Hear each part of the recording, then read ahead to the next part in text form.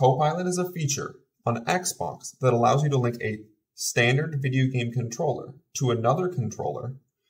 and use controls from both controllers to control the same user profile in a game. Therefore, buttons on both controllers will be able to move and activate the same player in a game. By doing Copilot, you can set up a standard controller with the Xbox Adaptive Controller to supplement controls somebody might have difficulty accessing on a standard controller. Therefore, for someone who's partially able to access a standard video game controller, say a gamer who can only access the controller with one hand, or a gamer who might be able to access some of the buttons on the controller but can't reach certain other buttons on a controller, they can hook the standard gaming controller up to the Xbox Adaptive Controller on Copilot,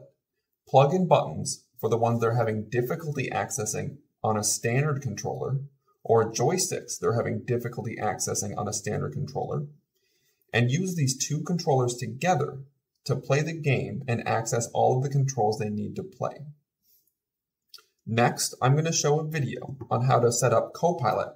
using a standard controller and the Xbox Adaptive Controller on the Xbox console. To use Copilot to link the Xbox Adaptive Controller to a standard video game controller, first, make sure both your Xbox Adaptive Controller and standard video game controller are connected to your Xbox console. Then, go into the Xbox Accessories app and ensure both controllers are connected and they show up in this app. Then, under the word configure, go to the three dots Make sure the controller is assigned to the correct user profile and go down to turn on Copilot. Now, go to your other controller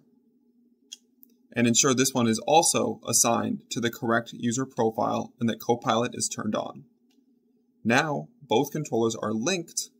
and they will both work together to control the same user profile in games.